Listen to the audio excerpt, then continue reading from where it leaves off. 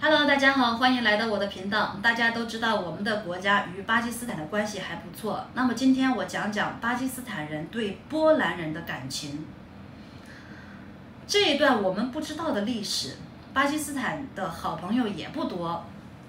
大家给算一算，那中国算一个，还有哪些呢？我给大家盘点一下，我们经常能够看到的、能够听到的巴基斯坦的呃好朋友有哪几个？比如说土耳其呀，呃，沙特阿拉伯酋长国里面的那些小国呀，那美国呀，估计这些国家大家都知道，但有一个大家不知道的就是波兰。波兰和巴基斯坦的外交关系建立时间比我们更早、更铁，没想到吧？巴基斯坦人称波兰人为好朋友和老盟友。每当有人提到波兰的时候，他们会立即说出很多关于波兰的事。我讲的这些东西，你就去各大各大的网站去查，你就查不到。一些东西只有在巴基斯坦的历史博物馆里才能够去获取到。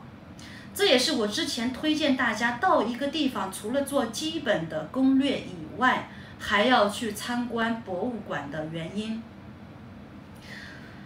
我的梦想是去参观大英博物馆，据说那里面有我们国家的很多文物，只能在网上看图片和了解历史，不看呃看不到实物，我始终觉得遗憾。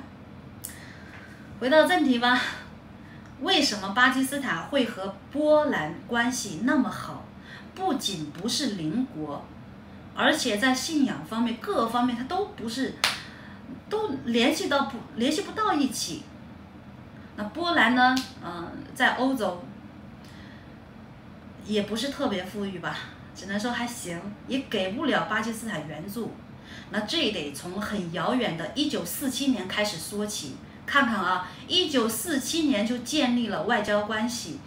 1947年印巴分治开始，那时候巴基斯坦非常贫穷，就是政府的官员工资都发不出。就在这种情况下，巴基斯坦还收容了大量波兰的难民。这些人大多是住在卡拉奇，还有一些人住在拉合尔，还有巴卡尔。这些波兰人虽然是难民，但是他们全心全意的为新国家巴基斯坦服务，成了无薪工作的教官，没有工资的。那这些人呢？有老师，有社会公共系统里工作的。那时候的巴基斯坦一穷二白，社会治安很不稳定。印度教徒和穆斯林教徒时不时的来一架，流民到处都是。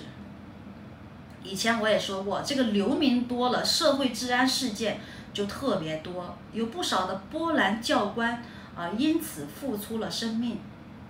那么波兰波兰人在呃具体在巴基斯坦的哪些领域给了巴基斯坦人帮助呢？每个领域都有。我拿一些典型给大家看啊。波兰人在巴基斯坦空军担任工程师，手把手教他们空军工程师技能，甚至还有空军大将是波兰裔的。还有飞行员、军事科学家，我给大家看几张图片吧。说了半天啊，没有这个依据也不行。巴基斯坦空军里波兰人的合影，这些照片你在巴基斯坦博物馆里可都可以看到。波兰里的难民营，包括难民营里还接受巴基斯坦的难民，后来成为巴基斯坦难民的波兰人。巴基斯坦的滑翔应用数学和粒子物理讲师，他就是来自波兰的后裔。在卡拉奇空军基地，你进门就可以看到波兰裔的巴基斯坦空军准将瓦迪斯瓦夫他的雕像。巴基斯坦人对波兰的看法是积极的。这里的传奇故事就很多很多，我就不一一举例了。怎么样，又长知识了吗？每天分享一点社会百科，你还想知道什么呢？视频下方留言，谢谢您的点赞与评论。我们下期见，拜拜。